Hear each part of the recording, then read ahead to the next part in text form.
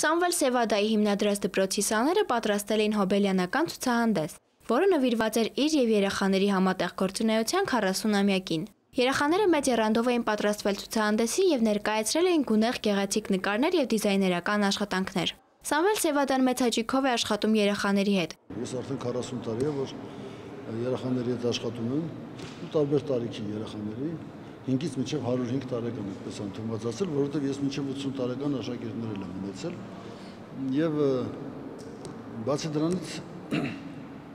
արդեն ամեն տարի մենք ցուցահանդեսներ ենք անում, երբեմն հաշվետու ցուցահանդեսներ են դրանք լինում, երբեմն թեմատիկ ցուցահանդեսներ։ Բացված ցուցահանդեսին մասնակցում էին ոչ միայն պատանիներ, այլև երեխաները, որոնք իրենց փոքրիկ եւ գեղեցիկ աշխատանքներն էին ներկայացրել այցելուներին։ Պատանի նկարիչները թղթին էին հանձնել իրենց հասուն մտքերը։ Միլենան վստահեցնում է, որ իր նկարներում պատկերվածը գալիս է իր ներքին զգացումներից։ Աշխատել եմ այս նկարի վրա բավական երկար ժամանակ մեծ հաճույքով երկար ժամանակ մտածում էի վերցնել հետաքրքիր շտրիխներ, հետաքրքիր միտք, նոր նորություններ մտել այս մեր նկարների մեջ եւ մտքիս մեջ եկավ այս հետաքրքիր ձևը, որը տեսել էի իհարկե, բայց բալերինան եւ բանը շատ դուրս եկավ ու որ միտքը դուրս գալիս էր հաճիկով էի աշխատում Թինան մտքում խառնաշփոթ ունեցող մարդուն պատկերել է բնության միջոցով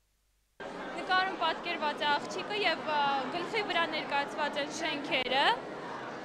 եւ ինչպես տեսնում եք աղջիկա ուղեղում ներկայացված է ծառեր բնությունը Փոքրիկները շատ են սիրում նկարչությունը, հատկապես երբ նրանց հետ աշխատող մեծերը չեն պարտադրում մտածել իրենց նման այլ մանկանում են ինչպես իրենք են։ Լինում է ծաղիկներ, լինում է բնություն։ Փոքրիկ Տաթևը շատ է սիրում վարգույներ եւ առայժմ նկարում է այն, ինչ իրեն ասում են։ Ծաղիկներ, մարգե, ծով։ Արփի Գաբրելյան, Գագիկ Պողոսյան, Վահե Հովսեփյան, Մանկական երկիր։